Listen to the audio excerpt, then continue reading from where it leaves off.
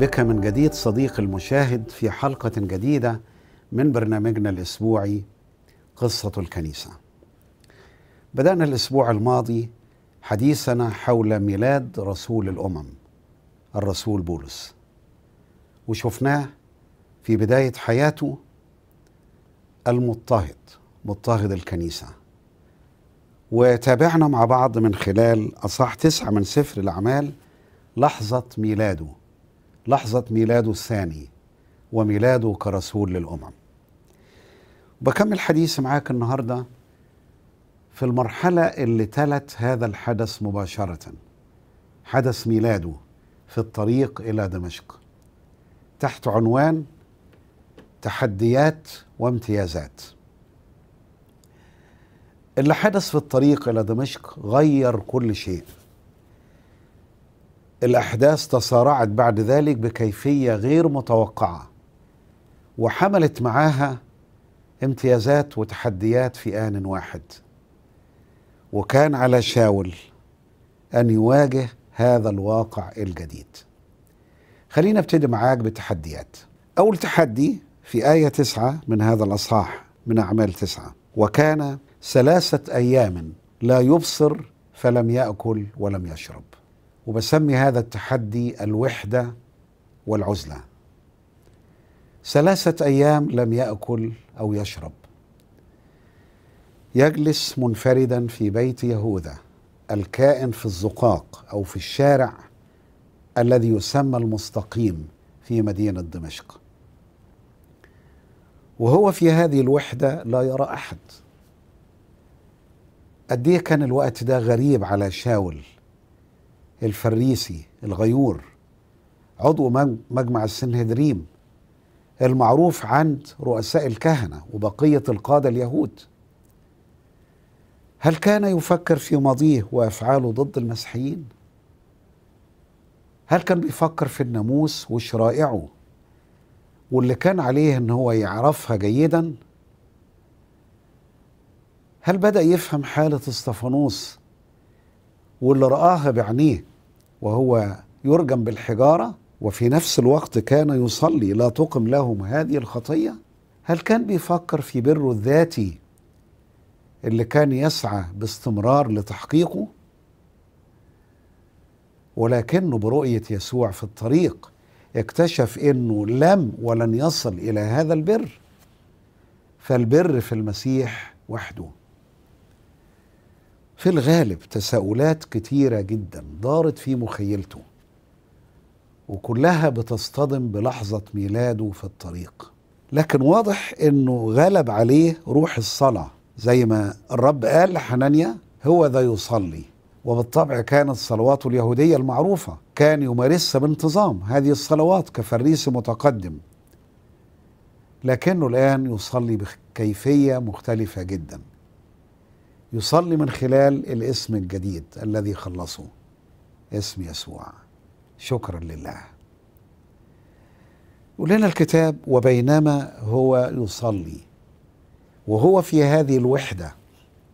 رأى رؤيا. الله في نعمته أراه حنانيا قبل أن يأتي إليه وأن حنانيا سيضع يده عليه لكي يبصر. أكيد قصد الرب بهذه الرؤية أنه يطمئنه. فهذا العمى مؤقت وسيعود إليه البصر زي ما عادت إليه البصيرة.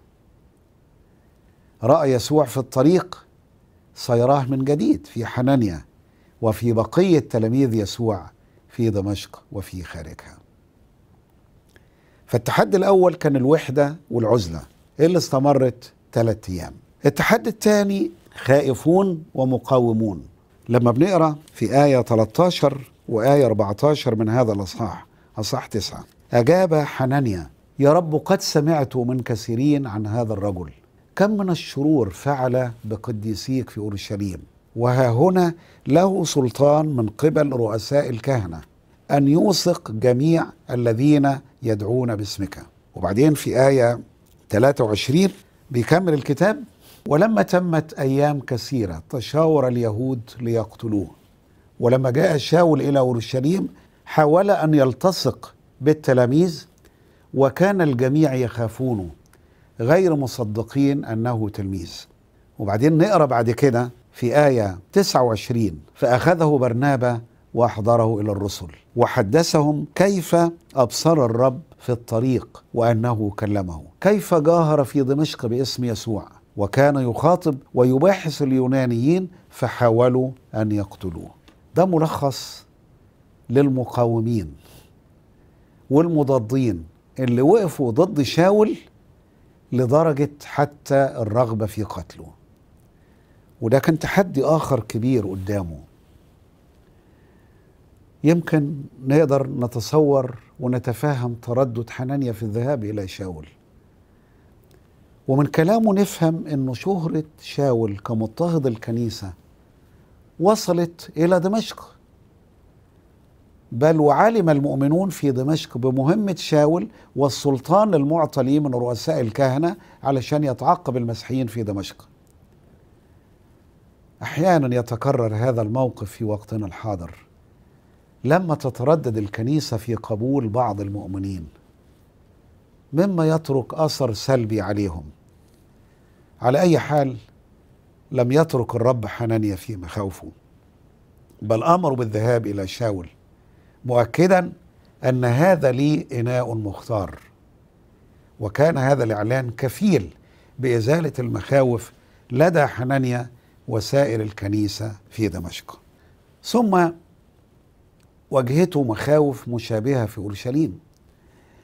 لأنه الجميع كانوا يخافون غير مصدقين أنه تلميذ.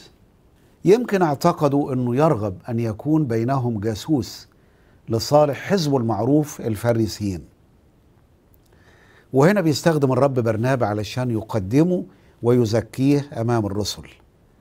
زي ما استخدم حنانيا في دمشق. لكن التحدي الآخر اللي جه من المقاومين وصل إلى حد القتل. وتعرض شاول بحسب ما ورد في هذا الأصحاح أعمال تسعة لمحاولتين لقتله.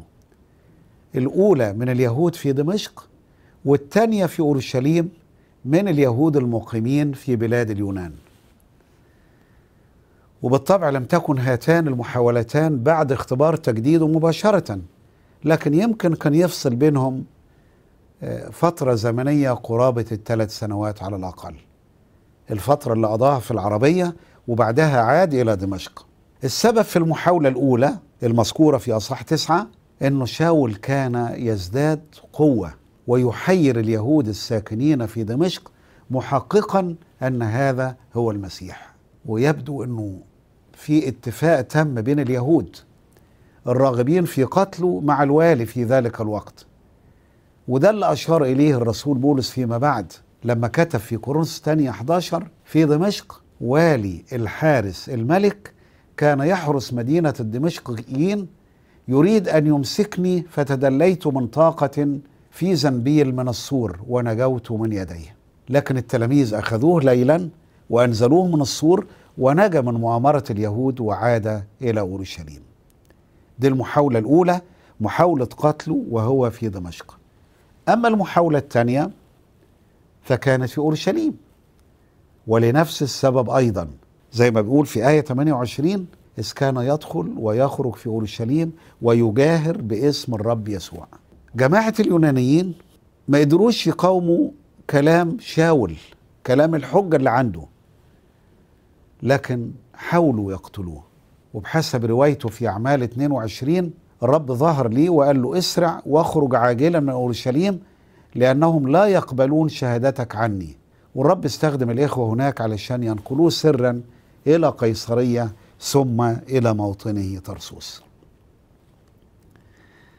خلينا أقول صديقي المشاهد هنا إنه أمام كل تحدي لرسالة الإنجيل سواء مخاوف أو مقاومة من المضادين كلها الحقيقة سقطت وتسقط وزالت وتزول.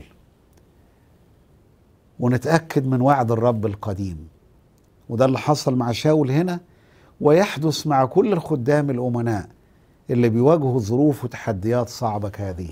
في إشعياء 54 وآية 17 وعد الرب كل آلة صورت ضدك لا تنجح وكل لسان يقوم عليك في القضاء تحكمين عليه. هذا هو ميراث عبيد الرب وبرهم من عندي يقول الرب. بعد التحديات في آلام مرتقبة. آلام مرتقبة تنتظر شاول هذا بعد أن صار مسيحيا. ده اللي الرب أخبر بيه حنانيا. قال له كده سأريه كم ينبغي أن يتألم من أجل اسمي؟ وأكيد حنانيا أخبر شاول بهذا الإعلان. وقبل شاول هذا الأمر واستعد ليه. وبالطبع يعني من الناحية البشرية الإنسانية أمر غير مشجع أنه تقترن الدعوة للحياة الجديدة في المسيح بحتمية آلام جاية على حياة شاول. لكن هو ده بالظبط اللي حصل معاه. مع بولس بعد كده.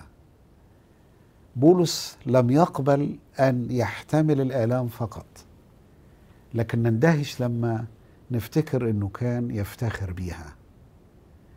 وأفكر بس حضراتكم ببعض الشهادات اللي قالها عن هذا الأمر. في كورنثوس الثانية 11 كتب لنا آيات رائعة جدا عن فكرة احتماله للآلام اللي جت عليه بسبب معرفته للمسيح وخدمته لرسالة الإنجيل. يقول كده من آية 22 في هذا الأصحاح. أهم خدام المسيح فأنا أفضل. أهم عبرانيون فأنا أيضا. أهم إسرائيليون فأنا أيضا. أهم نسل إبراهيم فأنا أيضا. أهم خدام المسيح. أقول كمختل العقل فأنا أفضل. في الأتعاب أكثر في الضربات أوفر في السجون أكثر في الميتات مرارا كثيرة. من اليهود قبلت خمس مرات أربعين جلدة إلا واحدة. ثلاث مرات ضربت بالعصي مرة رجمت ثلاث مرات انكسرت بالسفينة. ليلا ونهارا قضيت في العمق. بأسفار مرارا كثيرة بأخطار سيول بأخطار لصوص بأخطار من جنسي بأخطار في الأمم بأخطار في المدينة بأخطار في البرية بأخطار في البحر بأخطار من إخوة كذبة في تعب وكد في أسهار مرارا كثيرة في جوع وعطش في أصوام مرارا كثيرة في برد وعري. كل ده اختبروا بولس فعليا. آلام يقول لنا في أصحاح ستة من رسالة أفسس هذا القول المشجع أيضا اللي بيحكي فيه عن هذا الألم. صح ستة وآية 22 الذي لأجله أنا سفير في سلاسل في سلاسل لكي أجاهر فيه كما يجب أن أتكلم. وأفتكر في تيموساوس الثانية واحد آية 11 و 12 تكلم عن شخص المسيح اللي يقول الذي جعلت أنا له كارزا ورسولا ومعلما للأمم. لهذا السبب أحتمل هذه الأمور أيضا لكنني لست أخجل لأنني عالم بمن آمنت وموقن أنه قادر أن يحفظ وديعتي إلى ذلك اليوم. وفي الرسالة الثانية أيضا أصح 2 وآية 9 الذي فيه أحتمل المشقات حتى القيود كمذنب لأن كلمة الله لا تقيد. حنانيا أنبأه زي ما قال له الرب سأريه كم ينبغي أن يتألم من أجل اسمي. تم هذا حرفيا مع بولس في أماكن ومواقف كثيرة جدا. لكنه كان مش بس بيحتمل زي ما ذكرت لكنه كان يفتخر بهذه الآلام لكن نفسي أختم معاك النهاردة ببعض الإشارات إلى الامتيازات اللي كانت لبولس بعد هذا الميلاد المجيد. كان عنده امتيازات. من ضمن الامتيازات المرشدون والمساعدون. الرب استخدم في البداية معاه حنانيا وبرنابا وتلاميذ وإخوة آخرين وقفوا جنب شاول في ضيقاته وتحدياته. ودي استراتيجية الرب في كل حين. بيجي تحدي الرب يبعت لك المعين والمساعد. والمعضد والمشجع في ظروف وتحديات مختلفة. يمكن يصعب على أحدنا أن يكون مثل بولس لكن بنعمة الرب كل واحدة وكل واحد فينا ممكن يكون زي حنانيا أو برنابة معين ومساعد لغيره في خدمة الرب. ده كان امتياز لبولس المساعدون والمشجعون اللي وقفوا جنبه وسندوه. لكن مساعد آخر ربما يكون أهم وهو الاختيار الإلهي. بعد تردد حنان يطمئن اطمأن للقاء شاول لما الرب أعلن ليه إن هذا لي إناء مختار ليحمل اسمي أمام أمم وملوك وبني إسرائيل. الاختيار هنا بيشمل جانبين اختياره للحياة مع المسيح وفي المسيح واختياره لخدمة الإنجيل. طبعا خدمة الإنجيل على نطاق متسع جدا جدا أمام أمم وملوك وبني إسرائيل. وممكن نقول هذا المصطلح الاختيار تمكن جدا في خبرة الرسول بولس وفي تعليمه حتى كان وبلا منازع أكثر من كتب وعلم عن عقيدة الاختيار. دعوته للخلاص؟ كتب عنها لتلميذه تيموساوس الذي خلصنا ودعانا دعوة مقدسة لا بمقتضى أعمالنا بل بمقتضى القصد والنعمة التي أعطيت لنا في المسيح يسوع قبل الأزمنة الأزلية. واختياره ليكون أداة لنقل بشرى الخلاص إلى الأمم والملوك وبني إسرائيل. فقد دعي رسول الأمم وهو يشهد عن هذه الحقيقة رمي 11 وآية 13 فإني أقول لكم أيها الأمم بما أني أنا رسول للأمم أمجد خدمتي. مش بس كده أدرك السر اللي كتب عنه في أفس ثلاثة إن الأمم شركاء في الميراث والجسد ونوال موعده في المسيح بالإنجيل الذي صرت أنا خادما له. حسب موهبة نعمة الله المعطاة لي حسب فعل قوتي.